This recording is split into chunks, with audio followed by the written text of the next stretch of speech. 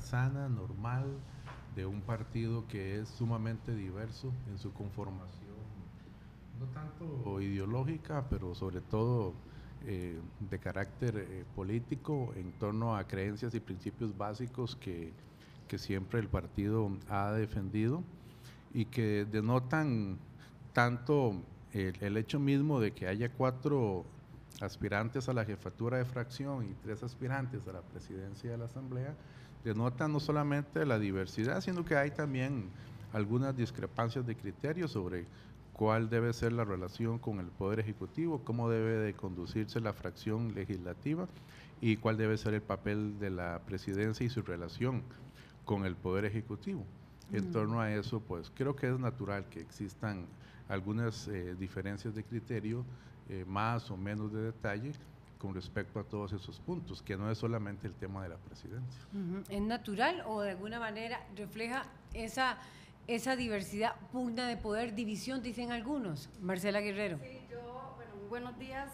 Tendría que señalar eh, que tiene que ver con estilos. Yo creo, igual que lo han planteado, lo ha planteado Henry, creo que con Otón coincidiríamos. Esto es un esfuerzo de estilos. Yo estoy convencida de que tenemos que hacer un salto a la política del siglo XXI. Eso tiene que ver con reconocer un multipartidismo, tiene que ver con estilos nuevos. El reglamento no nos está facilitando las negociaciones ni por el fondo ni por la forma. Creo que tenemos una amplitud, hay un enorme entusiasmo, eh, siento yo en la fracción y creo que se han desarrollado eh, esfuerzos con las fracciones legislativas que nos permiten, de alguna forma, este segundo año, tal y como ustedes lo han planteado, darle un segundo aire al trabajo legislativo, tener una luz larga de cuáles son los temas país, las fracciones lo han venido planteando y mi sensación es que con los esfuerzos y las experiencias y la curva de aprendizaje que tiene el PAC no nos da miedo la diversidad. Y para eso creo que estamos planteando un nombre para llevar adelante un estilo de trabajo más allá de personas, yo hablaría de estilos de trabajo. Don Otón, usted ha sido eh, una persona que no, ha, no le ha temblado la mano en señalar eh, las cosas que andan bien y las cosas que andan mal históricamente. ¿Cómo ve usted esta elección de cara al directorio legislativo, donde cada vez se perfila más la posibilidad de un directorio compartido? ¿Cuál es su criterio ante una posibilidad de este tipo? Me parece una inevitabilidad que, que haya un directorio compartido y ojalá también con diversidad de género. Eh, y usted pregunta qué importancia tiene, es vital. Eh, es evidente que desde el Poder Ejecutivo hay un relanzamiento del gobierno, se está cambiando buena parte de la alineación eh, y la Asamblea Legislativa sigue siendo sujeto de críticas, de desprestigio. hay que evitar que las y los diputados de esta camada 2014-2018 pierdan la capacidad de asombro y, y, pasen a tolerar y a entender lo que se criticaba desde que estaba afuera. Eh, es un órgano vital para la democracia y nosotros tenemos que evitar ser una irrelevancia histórica siguiendo con lo mismo de siempre, nombrando gente para favorecer partidarios, diciendo una cosa afuera y por la otra haciendo otra, eh, utilizando el reglamento. Nadie obliga a utilizar el reglamento para hacer ese desastre que ocurre en comisiones y en el plenario. Eh, el reglamento se puede, por la persona que, que, no quiere destruir la Asamblea Legislativa no, no conduce a ningún mal. En, armas de, en manos de, de, quien tiene vocación obstruccionista es un arma letal. Y yo sé de gente ahí en la Asamblea Legislativa que entraron con deseos de hacer cambios y se van acostumbrando. Y va ocurriendo una especie de síndrome de Estocolmo en que las prácticas del pasado capturan eh, y se apoderan y la, y la misma cultura legislativa prevalece. Y, y, esa era la idea de hacer cambios, y yo creo que mucha gente quiere hacer cambios. Y bueno, yo hice una propuesta por escrito clarísima, que en una parte no es nada más y nada menos que reproducir el código de ética del PAC, no, no se difiere de eso. Hay que hacer cambios administrativos y creo que hay que hacer un esfuerzo central en modificar el reglamento, aunque en materia de proyectos es muy difícil que un presidenta o presidenta legislativa se puedan comprometer. Pero en la administración de la Asamblea, en el estilo administrativo de la Asamblea, en el manejo de los recursos de la Asamblea para beneficiar o no a los diputados, el presidente de la Asamblea Legislativa la presidenta tiene un impacto vital. Ahí, de ahí parte mucha de la cultura que se practique en ese primer poder de la República y creo que tengo algo que aportar porque hay enormes oportunidades de mejora. Con tres aspirantes del PAC, Hay, hay quienes dicen, bueno, por otro lado se mueven otras fuerzas con la posibilidad de que sea no un presidente, no haya un presidente PAC, sino de otra agrupación política. ¿Qué alternativas políticas tiene, digamos, en, para este primero de mayo, que quede otra persona que no sea presidente PAC? Bueno, la posibilidad es, es real. Eh, Liberación Nacional eh, se debate entre si eh, votar por ellos mismos eh, apoyar, aunque sea parcialmente, a un candidato o candidata del PAC o promover un directorio de oposición. Eh, en, en, aras de promover un directorio de oposición, que ha sido una tesis que constantemente ha estado presente en Liberación Nacional, le han ofrecido la presidencia prácticamente a medio mundo en la Asamblea. Eh, las negociaciones más, más constantes las han hecho con el Partido Unidad Social Cristiana, donde el PUS tendría la presidencia, Liberación una secretaría y el PAC otra secretaría. Pero creo que en el caso nuestro sería muy difícil aceptar un directorio donde simplemente participemos con una secretaría, por lo menos yo así lo veo. Y entonces eso vuelve más complejo la posibilidad de un pacto PUSC-Liberación o un pacto PAC-Liberación eh, ambos serían por lo demás también repudiados por el Frente Amplio, de manera que la complejidad de las opciones está, está a la vista, sin duda. Doña Marcela, dentro de la dinámica de la Asamblea Legislativa, dentro del análisis de algunos expertos, usted se perfila como la posible candidata de consenso. ¿Se siente usted en este momento en esas condiciones? ¿Se siente usted en esa eh, posibilidad real de presidir el Congreso como una candidata de consenso?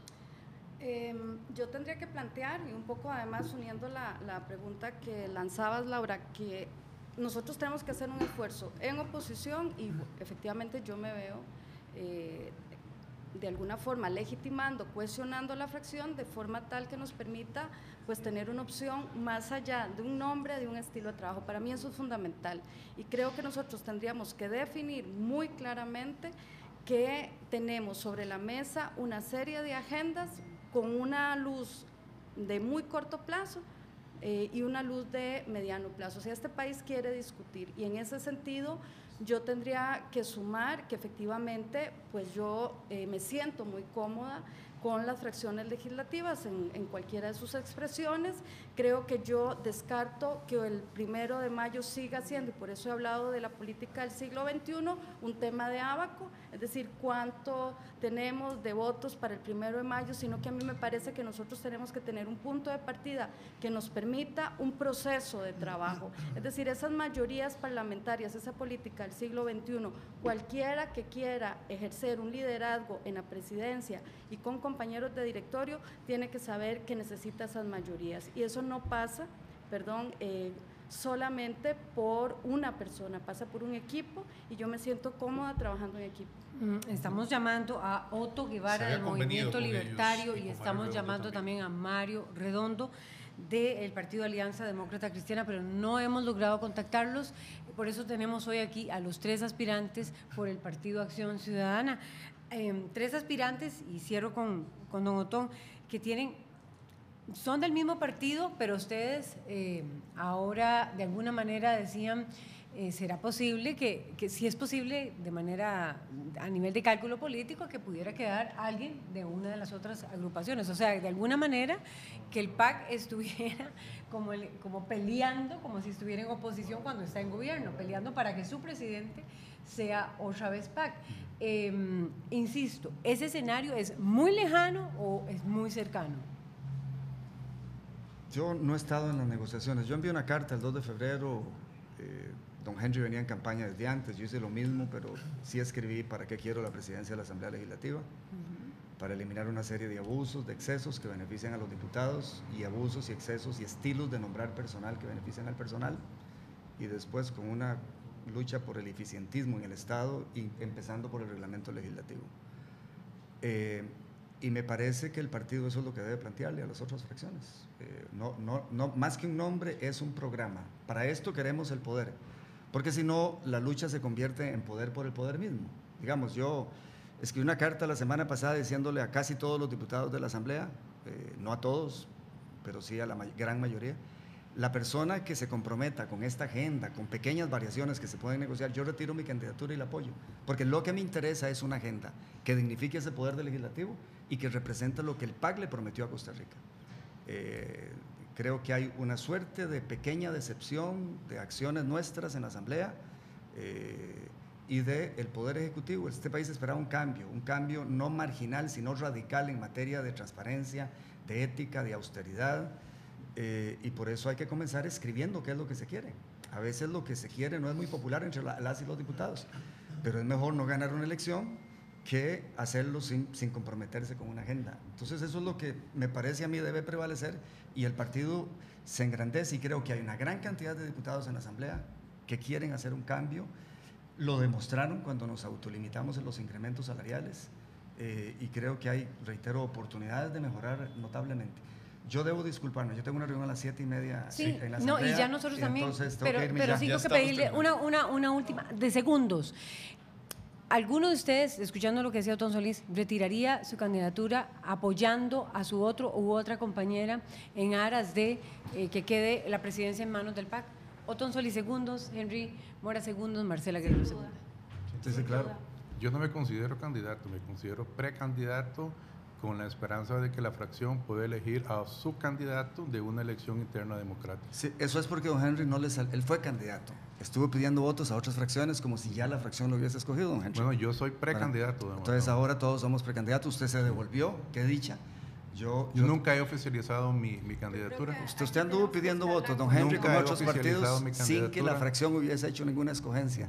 Desde octubre venís en eso. Bueno, soy precandidato y espero yo también, que podamos Yo también, y la discusión debe centrarse en para qué queremos el poder, y eso es lo que define si salimos bien o no salimos bien de esto. ¿Para qué queremos el poder? Estamos de acuerdo en eso. Tratando de que, de que la los principios que el partido ha proclamado se lleven a la práctica. Yo siento que como fracción hemos crecido muchísimo, que tenemos la oportunidad de cohesionarnos, que tenemos claros, siento yo, los principios del partido, pero sobre todo la gran responsabilidad que tenemos encima y más allá de personas, tenemos una gran responsabilidad frente a la ciudadanía.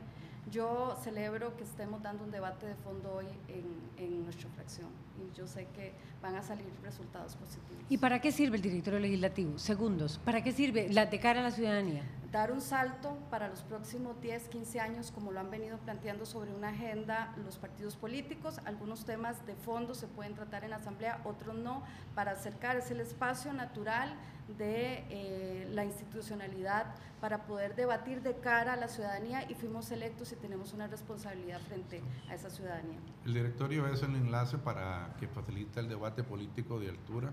Eh, esa figura sobre todo ha recaído en el presidente, pero debería ser la totalidad del directorio y no solamente el presidente. Y concuerdo en que hay muchas actividades, muchas funciones del directorio que deberían de profesionalizarse en, una gerencia eh, despolitizada con esa condición, una gerencia despolitizada eh, en los niveles ejecutivos de la Asamblea. Segundos para darle claridad al país sobre cuál es la agenda y para administrar la Asamblea Legislativa. Pues la pregunta suya es para qué es el directorio. Para administrar la Asamblea Legislativa eh, con los principios que se han proclamado, para que no andemos nombrando autoridades del Partido de Acción Ciudadana en puestos en la Asamblea Legislativa, para que no, fácil, no negociemos con otras fracciones el voto ofreciéndoles asesores que nosotros no utilizamos, para dignificar ese poder partiendo de cumplir con lo que el país espera de nosotros. Para eso, porque si el poder legislativo es respetado, entonces pesa en la agenda nacional. Si no, sigue siendo eh, una institución marginal y pesan más otras instancias. Y esa es la lucha que tenemos que dar para que eh, la transparencia, eh, la rectitud brille en ese poder de la República. Muchísimas gracias, don Matón, muchísimas gracias, doña Marcela y don Henry.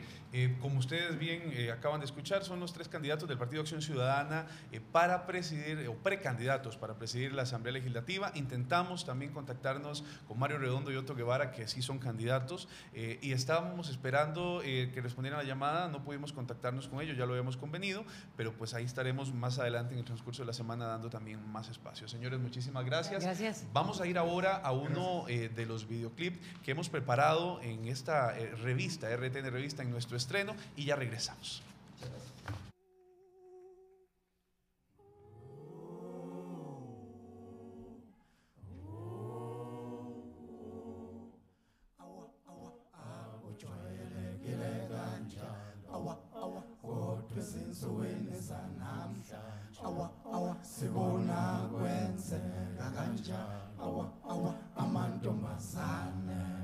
She's a rich girl.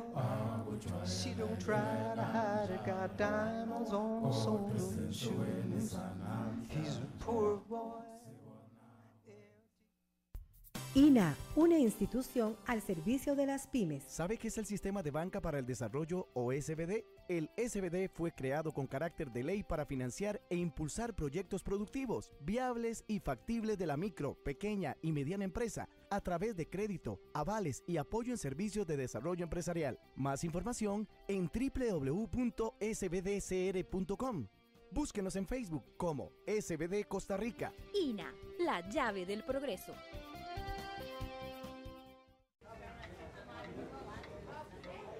Los hábitos de vida saludable lo alejan del cáncer. Elija lo correcto cada día.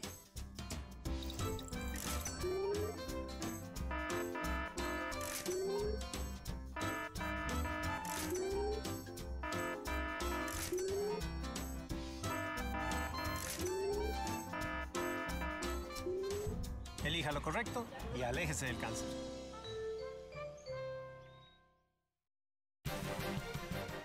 Queremos llevarle las noticias justo en el momento en que se desarrollan. Todas las voces, todos los actores, todos los puntos de vista. A partir de este lunes a la 1 y 6 de la tarde, con Laura Martínez y Jonathan Villarreal. Somos RTN Noticias.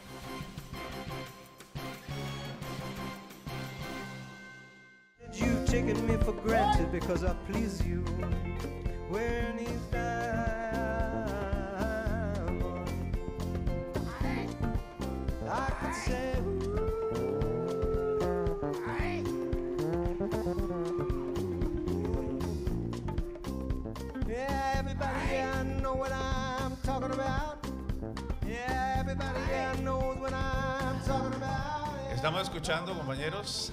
a Paul Simon y tenemos aquí de Paul a Paul. De, Paul, a Paul. A Paul Vega. Paul Vega. Mi, tocayo Paul Simon, buenos días a todos. Buenos días, a toda la gente que nos ve por Canal 13 y nos escucha por Radio Nacional. Por Radio Nacional. Hoy tenemos una selección aquí con, con Paul Simon, este, acompañado por el grupo Lady Smith Blackman Basso, que es una agrupación vocal sudafricana.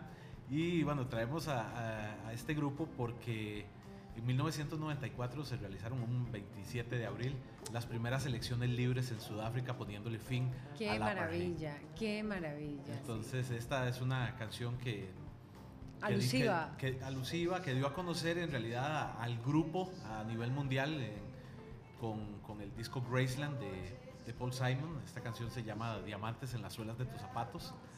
Eh, Lady Smith Blackman Basso es una, una agrupación de, que nació en los años 60 y que sufrió muchísimo porque en aquella época muchos de los artistas este, negros en Sudáfrica no podían mencionar muchas cosas en las letras de sus canciones. Eran censurados. Eran censurados, incluyendo la, la, palabra apartheid, era totalmente prohibida en las letras de las canciones de, de los músicos, al igual que, que tenemos otra gran artista como María Makiba, que fue la que compuso aquella famosísima Pata Pata. Entonces, Paul Simon, 1994, ¿con quién era? La... Este, en 1994 se, se hicieron las, las, las, elecciones las, libres. las, primeras, elecciones democráticas en Sudáfrica. De Sudáfrica. Esta canción es de de mediados de la década de los años 80 y la agrupación sudafricana se llama Lady Smith Black Mambazo. Muchísimas gracias, Paul, y seguimos con otro Paul de fondo. Si usted nos está escuchando eh, por Radio Nacional también 101.5 o si usted va saliendo en este momento de su casa y quiere seguir continuando, eh, quiere seguir escuchando